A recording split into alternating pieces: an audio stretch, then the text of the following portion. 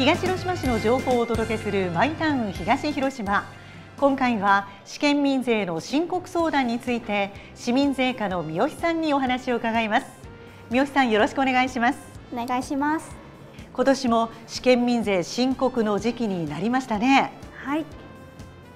去年は新型コロナウイルスの感染防止対策として申告書の郵送による提出をお願いしたところ多くの人々が郵送での提出にご協力してくださいました。今年も引き続き皆さんの安全のため郵送で提出していただくことを原則といたしますのでご協力お願いいたします。それでは今年の試験民税の申告書の送付時期などについて教えてください。はい。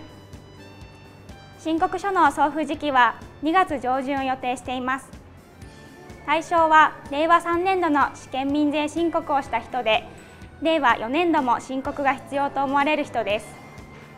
この他にも試験民税の申告書が必要な人は市民税課にご連絡くだされば申告書をお送りいたします。提出方法ですが申告書に必要事項を記入し必要書類を添付して同封の返信用封筒で返送してください。記入方法や必要書類については A4 サイズの用紙で1枚ものの説明書を同封していますのでご活用ください。従来の試験民税の申告相談会は開催されるんでしょうか？はい。これまで通り開催いたします。期間は2月16日水曜日から3月15日火曜日まで。受付時間は9時30分から15時30分までです市内の各町で開催いたします。開催日はご覧の通りです。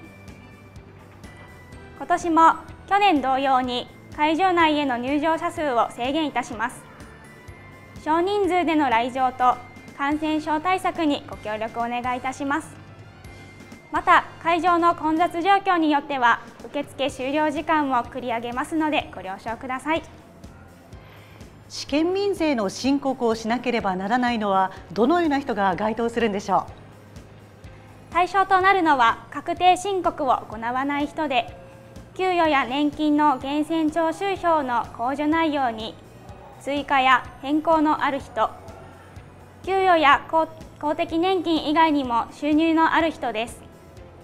収入が公的年金のみの人でその額が400万円以下の人は確定申告が不要とされていますが医療費や扶養などの控除を追加する場合は申告が必要です。この時期確定申告もよく耳にしますが試験民税の申告と確定申告とでは何が違うんでしょ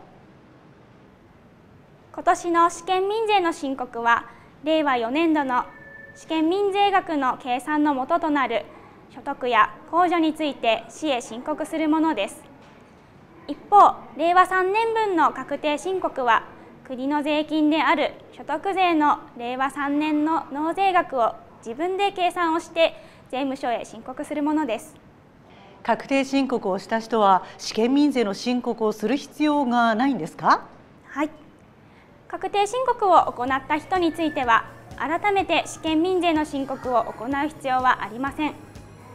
確定申告の内容から試験民税の納税額が算定されることになります。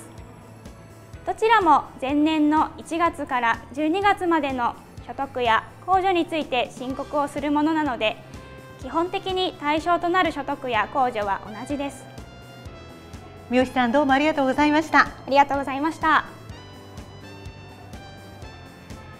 マイタウン東広島では市民の皆さんにとって暮らしに役立つ情報などをお送りします次回もどうぞご覧ください。